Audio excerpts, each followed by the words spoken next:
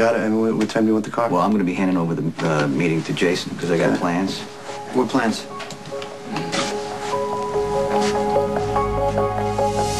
Give us a minute. Uh, I got to clear up a few things. I got Jason. Sure. What do you need to clear up? I just I got some personal business I got to take care of, and uh, you're gonna have to take the meeting.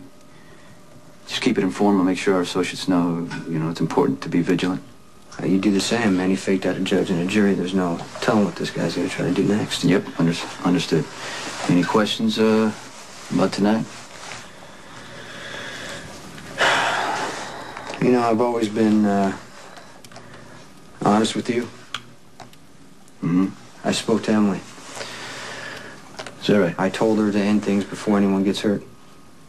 I told you you shouldn't be telling And if Carly. Emily can't do it, you have to. Uh, what did I miss?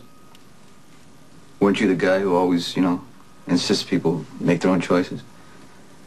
What? Nobody can tell you what to do, but you get to micromanage my life, your sister's life. Look, I, I, you know how much I respect you, greatly. But forget it. I get enough of that from Carly. Away from my sister is something I enjoy doing. I would be dead wrong if I didn't. This is my sister. I know your life. I live it every day. This is no place for Emily. Jason, it's her decision. If you pursue this, you are asking for disaster. the same kind of disaster I tried to warn you and Courtney against. You were right. And, and, and both of you had to f- figure it And out. And you can spare yourself and Emily that kind of pain if you just let her go. Sonny, just let her go. Got to get to that meeting. That's what you're good at.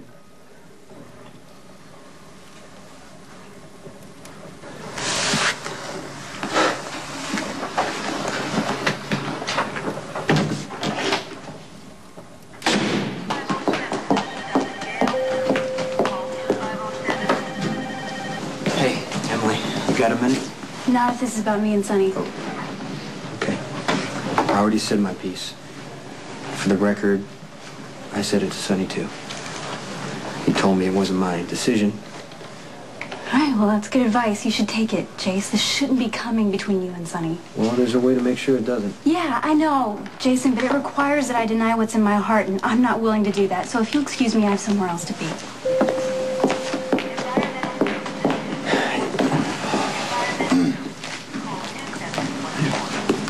We have a problem.